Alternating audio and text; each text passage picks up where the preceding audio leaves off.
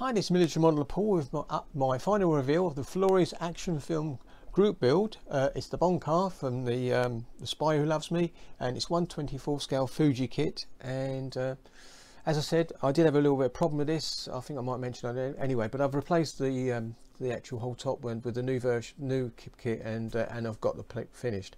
Now there's things I've learned about doing this build. I may even get another one and put it in my stash for a future build because uh, I've learned quite a bit doing this this particular kit um, so anyway, so I use white glue to actually put the windows in the sides, the side of the, the, the thing, and a little dab of super glue on the bar side so that I can actually get a bit of super glue and and the actual wood glue. Once it was in there, I, I when it, well, it was coming nearly to a finish, I used a moist uh, a brush with water just to clear any excess that come through, cleared that up and then, then just wiped them off and polished the, the windows. No problem at all, so that was okay. As you can see, I'm quite happy. The black line along the side is as fine as I could get it. Um, another thing I've learned, if you build this kit, I would actually leave the back section off. These bits where the fins are off and actually spray the thing and then you can get a, a nice brush all the way along there nice and finely. And I use this brush, I mean, it's a paint brush, uh, but it's a pen. There she is.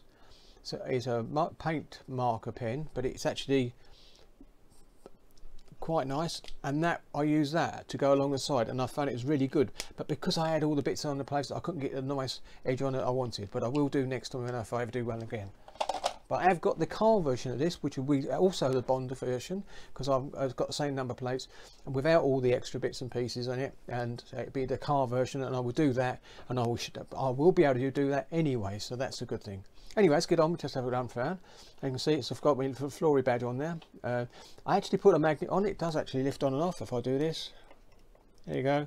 There's a magnet. I'm, I'm going to put two next time because two would be better because two would keep it balanced. So it does move if you knock the box, but not too much. That's the main thing. So here we go. I'm, to, I'm not going to do it by the uh, machine. I'm just going to come around. There you go. Really happy with it. So but like I said I learned a lot doing this one and including the gloss work uh, all the way around oops let's move that around I think you can see that shine on that bit there now that that bit there which I, I point to it this here is I believe is something like a sonar thing. And uh, what that means is you can actually I actually used the gloss part of it cleaned the gloss uh, chrome off the back sorry left the chrome on the front sprayed it with uh, smoke uh, the lacquer uh, smoke version from Tamiya gave it two I think there's three light coats over the top. It gave it a mirror finish and it looks really nice and it actually shines just like a real one would do. Quite pleased with that the way that turned out. Coming around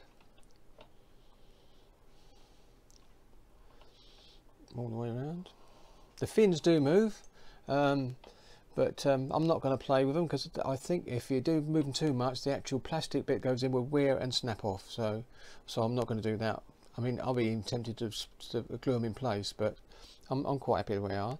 Now there is, you can see the propellers. I'm going to lift this up now. I'm going to, I'll lift this up there to show you the propellers. You see the gold there. There you go. It's all in nice and neat. So there you go. I'm going to put this back down before I drop it. And there you go. I use the lacquer paints again for the lights. Do it on the inside. If you do one coat, let it dry and then go over it again. I, I, did three coats under for the orange and the yellow and I think the orange come out better using the lacquer than what I did with the front which I used the original Tamiya one. So I'd go with the lacquer one next time. I'm really pleased with that because it looks really nice like it would do. So the, when I do the next car version of this it will look the perfect I think hopefully. There you go. So that's there she is. I shall put some photographs up for you as well uh, what I will say is another thing is because I had to do the top bit again quickly I forgot to fill the indentations here and here where the actual clear part there goes up to the roof. And I forgot to do that. And of course it can be seen with light on it. So but I can live with that uh, because it, this was had a deadline to finish by the end of this month and I've managed to do that so that's good. So anyway so I'll just bring it around a slight, a slight pose like that and uh, that's the uh, end of this bit this build. Uh, really pleased with it as I said. I'm going to varnish that bit of wood underneath there later. And I might even put another magnet on there so it levels it up but because uh, there is two magnets in the car but I mean one magnet on the wood. So if I put another one there it'd give a positive more positive hold. It holds 50 grams and I've sent some more small those magnets. They're blooming good. They really are. Anyway this is the end of this one. So anyway we'd like to because it's going to be close there. Be my last video for 2020 so and next one will be in early January and that'll be the Churchill tank which I'm going to be doing a bit more weathering on that and there's some bit, bit, bit of kit on the side of the turret and a few more chips on the bits and pieces. So thank you very much for watching this and happy new year to every single one uh, out there including my subscribers viewers anyone's gone and uh, thank you very much for it's been a, a, a, bad year in some ways uh, and a good year so bad year for what's happening I'm retired so it's being forced to stay home was not very nice because we used to travel around a lot. So, but I can understand how people that are losing their jobs and that is far worse for them. And I really feel deeply sorry for that. And just hope that it all sorts itself out in in 2021, and everyone can get back to what they love doing. Anyway, so anyway, happy New Year, and I'll see you in January. Happy modelling.